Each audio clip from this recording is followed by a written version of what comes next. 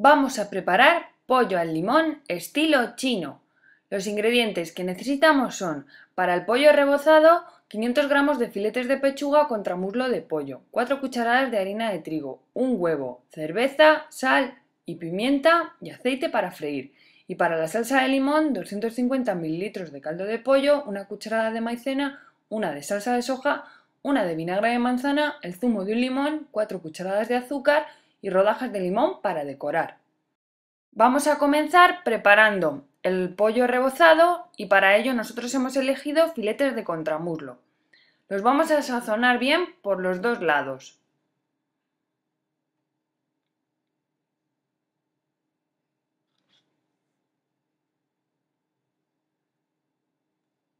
Y a continuación vamos a preparar una tempura en un bol añadiendo la harina con una pizquita de sal, bastante pimienta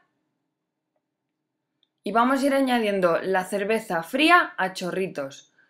Lo vamos a ir mezclando bien con las varillas. Es mejor ir poquito a poquito que pasarse y dejar al final la masa demasiado líquida, pues todavía tenemos que añadir el huevo. Nuestro objetivo es disolver la harina en la cerveza sin que quede mucho grumo, lo suficiente para que comprobemos que podemos añadir el huevo.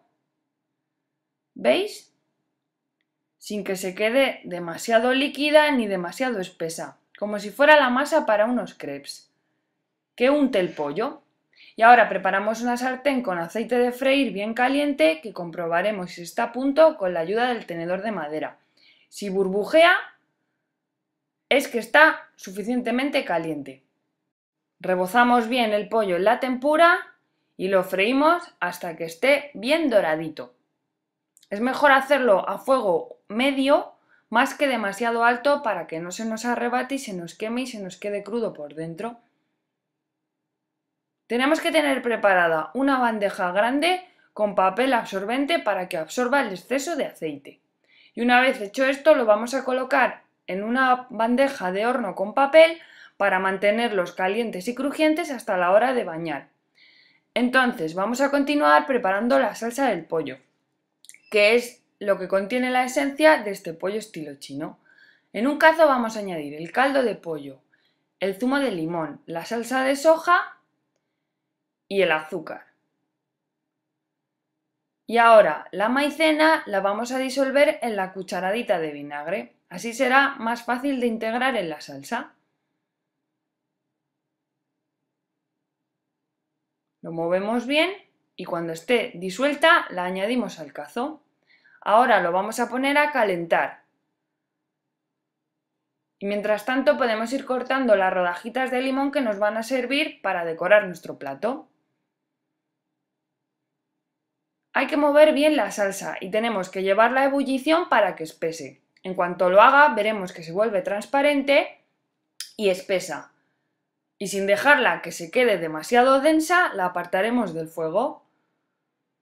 Rescatamos nuestros filetes de pollo rebozados y los cortamos con un cuchillo bien afilado en tiritas y los vamos colocando en una fuente grande. Los cubrimos con las rodajas de limón y por último con la salsa de limón templadita. Y listo, ya tenemos nuestro pollo al limón igual que el de los restaurantes chinos. Particularmente este es uno de mis platos favoritos de esta clase de restaurantes. Siempre me lo pido. Pero ahora, habiendo descubierto esta receta, me lo haré más veces en casa, porque os puedo asegurar que está delicioso.